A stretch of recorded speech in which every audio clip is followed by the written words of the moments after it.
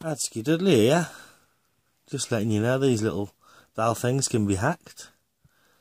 Now you all know the frequencies, VHF 136 to 174.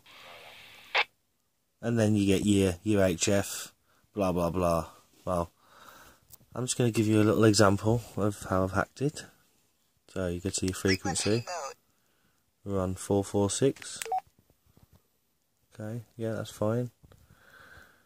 Okay, so let's mix it up a bit and go to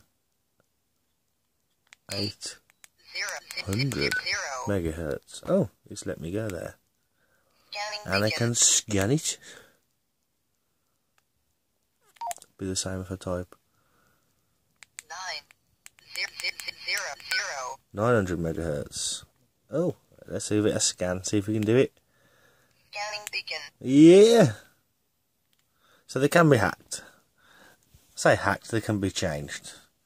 You can change the program inside it. And you can go up to a thousand. So let's give that a test. So.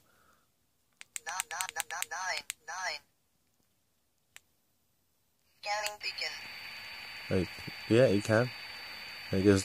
It takes me to 400 after that. So if I go to Nine, eight, eight, eight, and just start scanning, six, so nine, nine, seven, four. Sorry. zero, zero, zero, zero. There you go.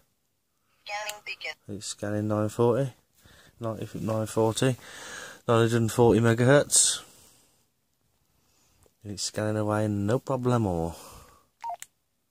Little lights come on, not sure why, but it just does that when you try and transmit. So it's a full block. Turn it off, turn it on again, Frequency mode. and it's still there. You just carry on scanning. Have a nice day.